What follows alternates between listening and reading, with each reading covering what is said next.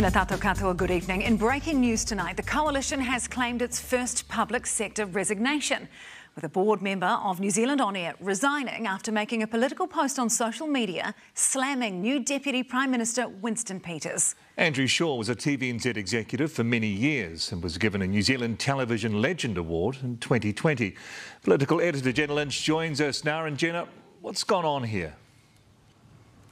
Andrew Shaw a, was a board member of New Zealand on air, and this evening Newshub made some inquiries about a post he had made on LinkedIn criticising Winston Peters' attacks on the media. Winston Peters yesterday made incorrect claims that the media had been bribed through the Public Interest Journalism Fund. In Shaw's post, he said of Peters, and I quote, he is not truthful, he is not accurate, he is malicious, and he is here on behalf of international tobacco. His return is the worst of this gang of thugs. Now, as we learned through the sacking of health boss Rob Campbell, public sector board members are required under their code of conduct to be politically neutral. New Zealand On Air has sent us a statement saying that.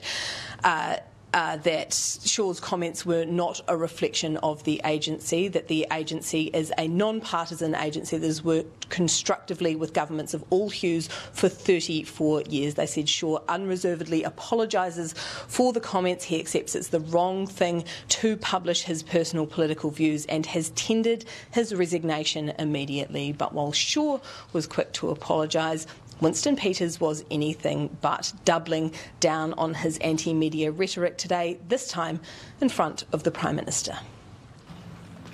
Off with a hiss, a roar, or more, an awkward silence. The coalition government getting its feet under the big cabinet desk. We're looking forward to having a good meeting. Yep. And straight down to its secret cabinet agenda. What's the plan for the meeting today? Uh, that stays in this room. What's said in Cabinet stays in Cabinet is one of the most sacred rules in the Cabinet Manual, aka the Minister's Rulebook. Are you confident that every single person in this room is going to stick to the Cabinet rules for the whole term? Absolutely sure they will. But already he's got one particular minister playing mischief. Cheap shot here. Yesterday, just after he'd been officially sworn into the role, his Deputy Prime Minister took it upon himself to issue direction to state owned broadcasters in response to a question about his policy about public agencies narrowing the use of Te Reo Māori. Well, we'll, speed, we'll see the speed at which TVNZ and RNZ which are taxpayer owned, understand this new message.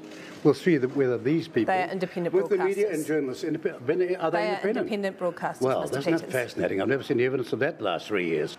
The independence of TVNZ and RNZ from political interference is spelled out in law. The Radio New Zealand Act 1995 states that no responsible minister or any other minister may give a direction to the public radio company in respect of the gathering or presentation of news or the preparation or presentation of current affairs programs. TVNZ's Act has the same clause. Luxon, were you comfortable with the comments that Mr Peters made about the media yesterday? Uh, I uh, didn't see those comments, but I'm excited to get to work with this team. For Mr Luxon's benefit, here's more of what he said. You can't defend $55 million of bribery. Okay. So, no, no, you cannot defend $55 million of bribery. He's talking about the Public Interest Journalism Fund, a contestable $55 million aimed at funding projects, journalism roles, and training in New Zealand newsrooms. The fund overall had five goals it had to achieve inform and engage the public, accurate, accountable, and fair coverage reflecting all sectors of the community, promote the treaty principles, reflect New Zealand's cultural diversity, and encourage a robust, sustainable media. Some areas of reporting were specifically excluded from the fund, including, crucially, national political coverage. As the media were packing up to leave today, Peters went in again. Before you ask one more question, Tell the public what you signed up to to get the money. This is called transparency, okay? Appropriate, Mr Luxon. Thank you. Right, ready to go? We'll take that as a no comment. Oh, okay, Jenna. So, how long can Christopher Luxon keep up his defence that he hasn't seen Winston Peters' latest comments?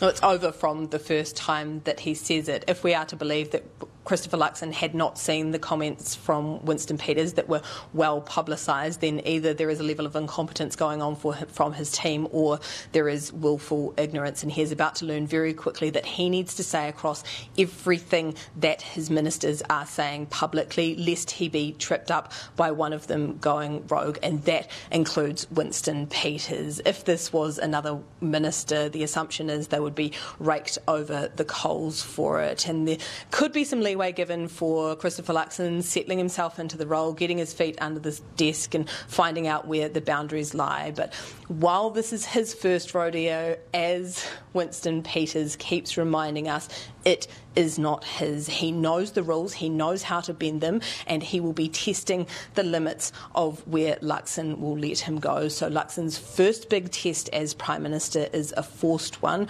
where he will let Winston Peters go, where he sets the boundary for him, and whether there is one rule for everyone else in Cabinet and one rule for Winston Peters. Political editor Jenna Lynch live from Parliament, tēnā koe.